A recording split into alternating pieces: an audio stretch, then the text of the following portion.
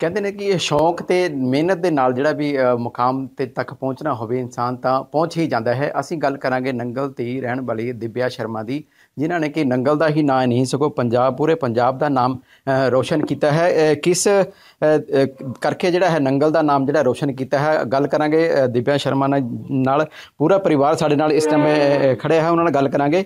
ਹਾਂਜੀ ਦਿਵਿਆ ਸ਼ਰਮਾ ਜੀ ਤੁਹਾਡਾ news eight ਸਵਾਗਤ ਹੈ। Thank you sir thank you so much आप बताना ये आपको राष्ट्रपति पुरस्कार मिला है।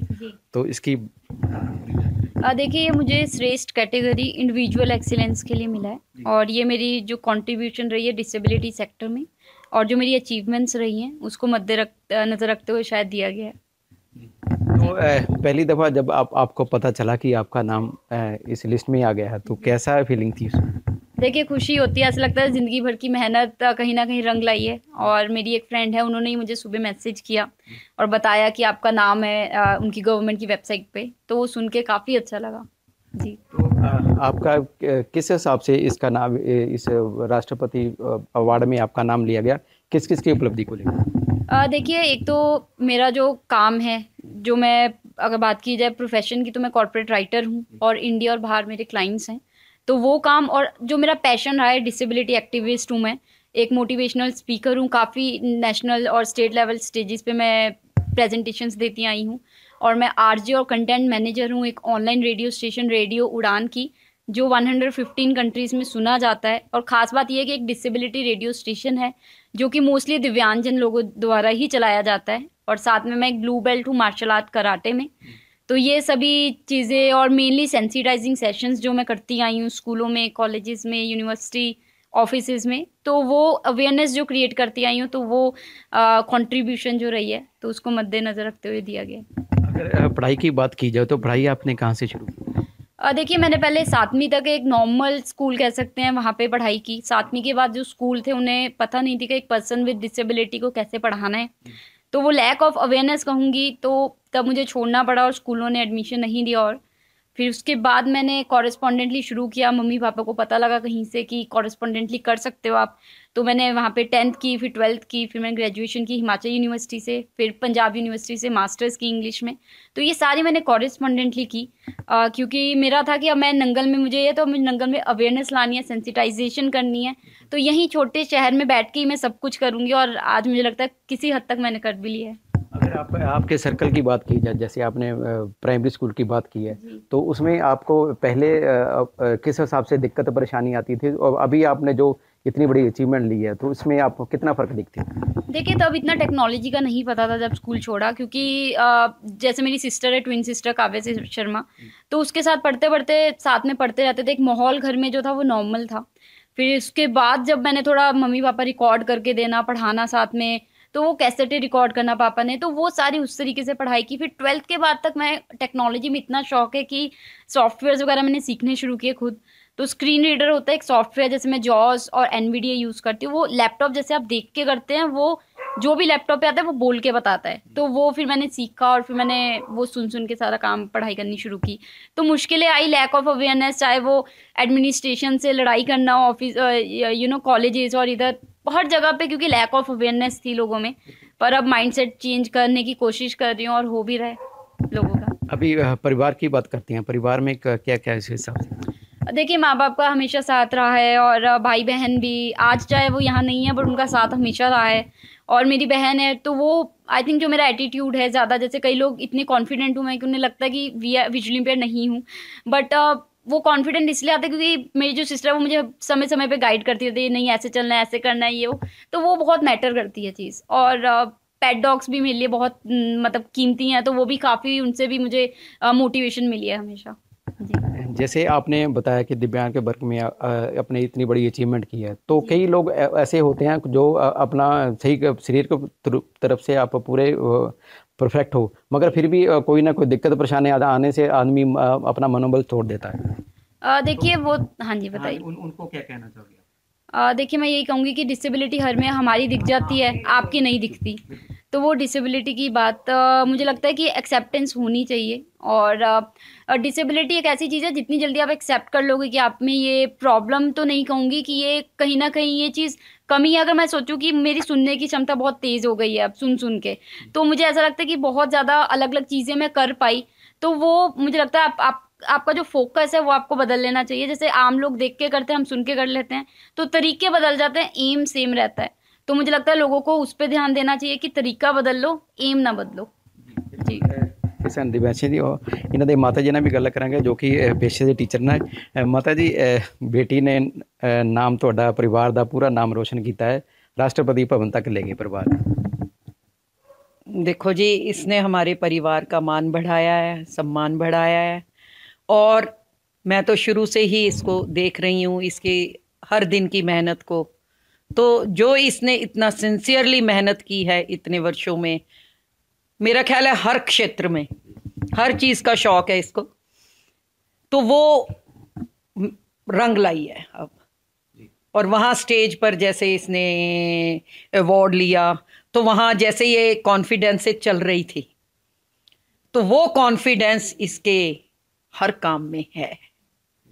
वो कॉन्फिडेंस तो आप सबने देखा है लाइव देखा है। तो मैंने कहा कि वो तो बिल्कुल अनजान जगह थी, दिव्या।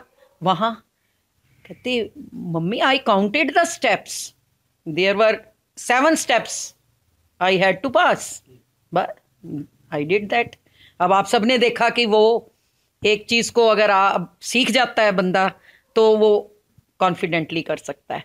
बाकी और इसने क्या किया है वो तो ये भी बता चुकी हैं। और सभी, और सबसे ज़्यादा जो लगा मुझे, जो इसने खुद कहा मुझे तो सच बताऊँ मैंने सारी ज़िंदगी इंग्लिश ही पढ़ाई है। जब इसने कहा कि मुझे सेंसिटाइजिंग सेशंस करने हैं तो मुझे उसका इतना मीनिंग नहीं पता था कि वास्ट मीनिंग क्या है उस चीज़ का। छोटा सा मीनिंग तो पता होता है।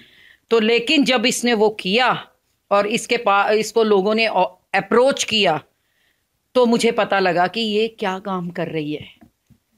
और लोगों में इतनी जागृति पैदा करना कि लोग किसी के बच्चे में किसी भी तरह की कोई अगर ये है कुछ भी कम डिसेबिलिटी है। कोई। ऐसी कंडीशन है वो लोग छुपा लेते हैं बच्चे को। बाहर आने ही नहीं देते और हम जानते हैं ऐसे का, काफ़ी लोगों को जानते हैं। जैसे समाज में पहले भी होता था अभी लड़कियों को आगे नहीं आना दिया। नहीं आगे नहीं जिसमें डिसेबिलिटी है चाहे लड़के में भी है बताते नहीं है बाहर। जबकि अगर डिसेबिलिटी जो है वो नहीं करवाओ पर बच्चा और तो बहुत कुछ कर सकता है तो वहां जाके राष्ट्रपति भवन में सच कहूं मुझे कई तरह की डिसेबिलिटीज मैंने देखी और देखा कि लोगों ने अलग अलग तरीकों से उनको कैसे जीता है मात दी है तो ਬਿਲਕੁਲ ਜੀ ਇਹ ਮਾਤਾ ਜੀ ਨੇ ਆਪਣੇ ਜਿਹੜੀ ਅ, ਗੱਲਬਾਤ ਦੱਸੀ ਹੈ ਜੋ ਕਿ ਅ, ਰਾਸ਼ਟਰਪਤੀ ਭਵਨ ਜਾ ਕੇ ਇਹਨਾਂ ਨੇ ਸਾਰੀ ਗੱਲਬਾਤ ਦੇਖੀ ਸੀ ਉੱਥੇ ਸਾਡੇ ਨਾਲ ਫਾਦਰ ਸਾਹਿਬ ਵੀ ਨੇ ਹਾਂਜੀ। ਕਿੱਦਾਂ ਦੀ ਅਚੀਵਮੈਂਟ ਸੀ ਜੀ बहुत बड़ी अचीवमेंट है जी और बाकी ऐसा है कई फील्ड में उसका कलेक्टिव इसे अवार्ड मिला है वहाँ पे इंडिविजुअल अचीवमेंट का तो ये तो हमें तो गिनना भी मुश्किल है क्या क्या फील्ड में इसने आज तक किया है तो बहुत खुश हैं इस चीज़ से बाकी तो बता ही दिया है इसने भी जी जी। हाँ जी मम्मी ने को बता दिया। जैसे होता है कि लड़कियों की जो झुकाव होता है वो पिता की तरफ़ होता है। तो आपका किस हिसाब से रहा? है नहीं ऐसा है कि मैं आपने अभी नोट भी किया होगा मैं बोलता कम हूँ। मैं लिखता ज़्यादा हूँ। कलम पे मेरा ज़्यादा है बोलने पे कम है। तो मैं चाहता हूँ कि और बोल दे मैं जहाँ लिखने की बात है लिख देता हूँ। तो झुकाव तो हम दोनों की ओर ही है लेकिन जो आपस में बातचीत करना है जब मैं खुद ही कम बोलूँगा तो नेचुरली उसके अकॉर्डिंगली मेरे से बात होगी। तो बिल्कुल फादर साहब दादी जी ने भी गल करेंगे। दादी जी दिव्या ने बड़ा नाम रोशन किया हाँ बहुत गर्व की बात है। इसने नाम रोशन किया है और वहाँ पर हमने सारा प्रोग्राम देखा। जैसे जैसे जी चल रही थी बैठी हुई थी बहुत मतलब खुशी हो रही थी। तो ये बहुत बड़ी इसकी अचीवमेंट है। इससे पहले भी इसने बहुत कुछ जीता है और जहाँ दिव्या है वहाँ सब कुछ पॉसिबल है। मैं एक और वो आपसे बात करता हूँ जो मैंने शायद पहले भी मैंने कहा है। तो वो इंग्लिश में कहते हैं तो take the bull by its horns कि अगर बैल आ जाए ना हिंदी में तो उसे सींग से पकड़ो। इसका ये एटीट्यूड रहा है। कोई भी प्रॉब्लम हो कुछ भी हो ये नहीं कैसे करना क्या करना है।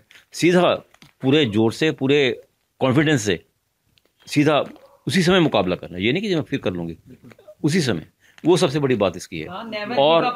एक और चीज़ इसकी मैं बताऊँ वो है कि सेल्फ प्रोपेल्ड ये कहते हैं ना ऑटोमेटिक जिसे बाहर की ज़रूरत नहीं पड़ती। ये ऐसी शख्सियत है जो अपने आप ही ऑटोमेटिक काम करती है ना हमारी ज़रूरत है ऐसे हाँ बीइंग पेरेंट्स तो सर्टनली हम इसका स्पोर्ट के लिए तैयार रहते हैं। लेकिन कभी वो मॉरल स्पोर्ट है लेकिन जो भी इसकी अचीवमेंट्स हैं जिसके लिए इसे अवार्ड मिला है वो तो मैं कहूँगा हंड्रेड परसेंट इसकी अपनी है और जो इनिशिएटिव लिए हैं उसके लिए पहल जो की है वो सारी इसकी अपनी पहल है। जब पहल करते थे तो हम हमें पता लगता था ऐसे कि मैं ये करना चाहती हूँ। हमने रोका नहीं। बस इतना ही रोका नहीं बाकी तो जो किया है सारा इसी ने किया है। तो हम सर्टनली बहुत ही ज़्यादा खुश हैं बहुत प्राउड महसूस करते हैं इसके ऊपर। लास्ट क्वेश्चन दिव्या जिदा जैसे आपने बताया कि आपकी प्राइमरी क्लास की तो जब आप स्टडी कर रहे थे तो दिक्कत आई थी स्कूल में आपका दिव्यांग वर्ग लेकर। तो आपके हमारी तरह हमारे माध्यम से सरकारों को क्या बोलना चाहोगे? देखिए सरकार काफ़ी स्टेप्स ले रही है और स्टेप्स लिए भी जा रहे हैं। इवन डिजिटल जो डिजिटल एक्सेसिबिलिटी है उस पर भी ध्यान दिया जा रहा है। तो स्टेप्स लिए जा रहे हैं बट समुंदर है तो बहुत धीरे धीरे हो रहा है और इम्प्लीमेंटेशन थोड़ी स्लो है। तो मैं यही कहूँगी कि गवर्नमेंट ज़्यादा अवेयरनेस क्रिएट करे ताकि लोग सभी आम लोग भी आगे आएँ और इंक्लूसिव सोसाइटी बने जहाँ पे सभी विदाउट एनी डिस्क्रिमिनेशन जी सकें और आगे बढ़ सकें। So, ਸ਼ਰਮਾ ਜਿਨ੍ਹਾਂ ਨੇ ਅ, ਦੱਸਿਆ ਕਿ ਰਾ- ਰਾਸ਼ਟਰਪਤੀ ਅਵਾਰਡ ਲੈਣ ਲੈਣ ਵਾਸਤੇ ਇਹਨਾਂ ਨੇ ਕਾਫੀ ਮਿਹਨਤ ਕੀਤੀ ਜੋ ਕਿ ਇਹਨਾਂ ਦੀ ਮਿਹਨਤ ਹੋਣਾ ਉਹ ਰੰਗ ਲਗਾਈ ਹੈ। Rajkumar news Punjab Nangal dam